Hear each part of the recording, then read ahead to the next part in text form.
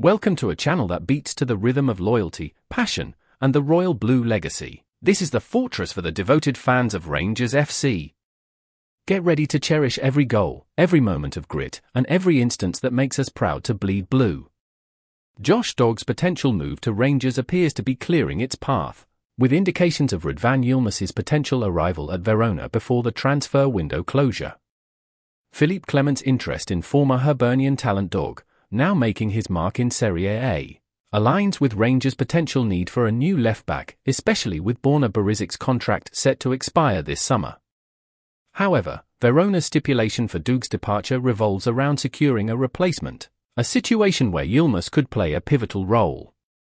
Reports suggest a possible swap deal involving Yilmaz, alongside a financial component, heading Verona's way.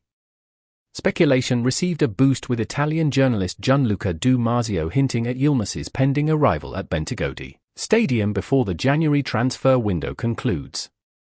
Yilmaz initially arrived at Rangers for £5 million from Feyenoord but struggled to find consistent playing time, due to injury and inconsistent performances, hinting at an imminent departure.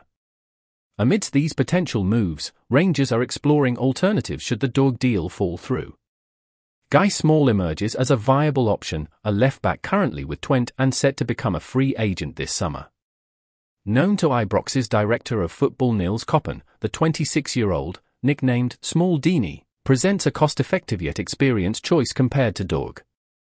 The possibility of securing either Doig or Small signals Rangers' proactive approach to bolstering their left back position for the upcoming challenges.